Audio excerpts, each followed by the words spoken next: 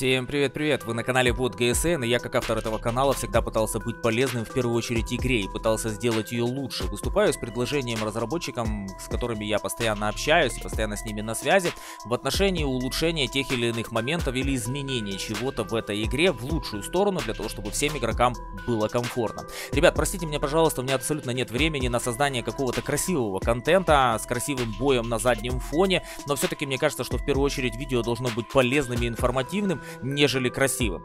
Так вот, ребят, нужна ваша помощь в следующем вопросе. Как все вы знаете, на данный момент э, в игре идет клановый ивент, и основная задача собирать э, клановые билеты, получая их, выполняя клановые боевые задачи. И для выполнения клановых боевых задач, понятное дело, необходимо время, но и не обязательно, что вы можете зайти в игру именно в тот момент, когда вам это необходимо или когда у вас есть на это возможность. На сегодняшний день украинцы столкнулись со следующей проблемой. У меня лично за последние сутки было всего 4 часа электричества в доме, ну и понятное дело, в эти 4 часа мне было абсолютно не до кланового ивента и не до танков. Необходимо было заниматься семейными делами.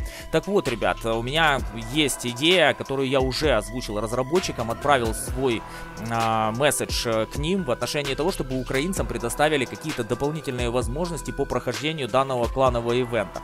Ни в коем случае не подумайте, что я украинцев ставлю выше, нежели ребят из Казахстана, Армении, Грузии, Литвы или других стран. Но, согласитесь, объективно невозможно одинаково успешными быть в клановом ивенте, если одни игроки имеют полноценную возможность в любое время дня и ночи зайти в игру и выполнять эти клановые боевые задачи, а другие игроки, и их, между прочим, сотни тысяч, этого себе позволить физически не могут. Так вот, ребят, если вы готовы поддержать идею в отношении предоставления игрокам из Украины дополнительных возможностей быть полезными своему клану.